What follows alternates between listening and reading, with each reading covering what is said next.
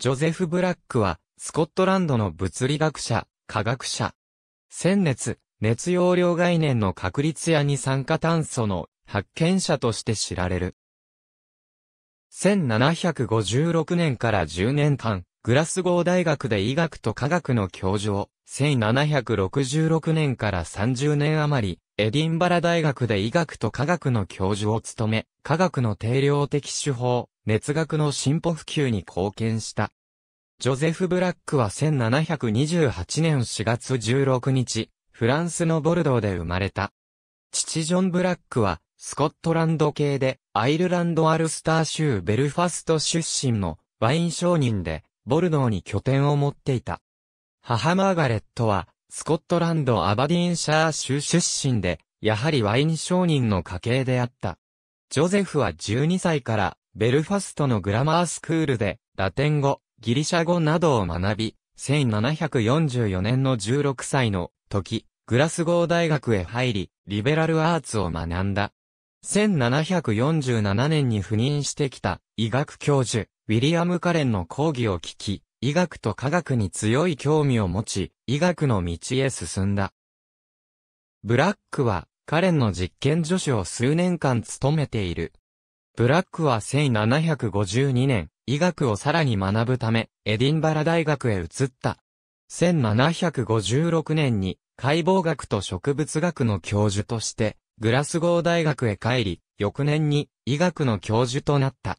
死のカレンは1755年にエディンバラ大学の医学の教授となっていた。グラスゴーでは熱に関する研究を行い、熱容量や鮮熱の概念を確立した。東自動大学の数学機器メーカーであったジェームズ・ワットとも親しく、ワットが蒸気機関の開発や企業を行う、際の良き相談者、支援者でもあった。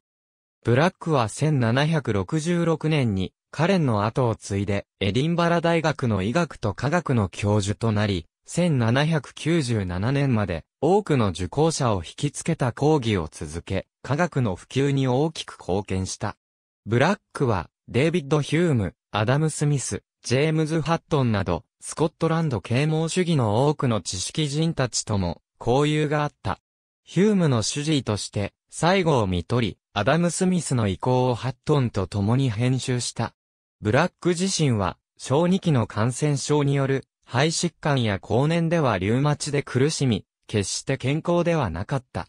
1799年12月6日にエディンバラで死去し、フランシスコ会修道士墓地に埋められている。ブラックがマグネシアルバの科学的研究を始めたのは、グラスゴーにいた1750年から1752年頃であり、その後エディンバラで医学博士論文としてそれを提出した。その中に、強に酸化炭素と呼ばれている固定空気の発見も含まれている。マグネシアアルバや白亜の加熱処理や生成物の酸、アルカリ処理に際して、ブラックは質量の変化を注意深く正確に測定し、今日の定量的科学実験の先駆けとなっている。1756年に教授として、グラスゴーへ帰って、すぐに、ワットと知り合った。ワットが手掛けていた、入庫面機関の改良は、ブラックにとっても、刺激となったようで、彼は、この後、鮮熱、熱容量などの熱に関する研究を進めた。ブラックは、熱の量と熱の強さとの区別を明確にし、物質の持つ力学的属性の他に、熱的属性としての熱容量の概念を導入した。ブラックはまた、融点にある氷に熱を加えても氷、水混合物の温度は上昇せず、混合物中の水の量が増えるだけであることを見つけた。さらに、沸騰している水に熱を加えても、同様に水、蒸気混合物の温度は上昇せず、蒸気の量が増えるだけであることも見出した。これらの観測をもとに、この時加えた熱は氷及び沸騰水と結合し、このために表面に出てこないとの結論に達した。熱の実態について、ブラック自身は実証主義を貫き、熱は何であるのかについての大度決定は避けたとされている。しかし、彼の一連の定量的概念は、流体としての熱物質という観点にはよく適合するのに対して、熱運動論との関連付けは、当時の物理学の現状では不可能であった。客観的に見て、ブラックの理論がその後の熱物質説を助長した。ブラックの当時学生であったウィリアム・クレグホンやウィリアム・アービンなどが、その後熱素説を展開することになった。E.N. ヨゼフ・ブラック2014年6月24日、閲覧。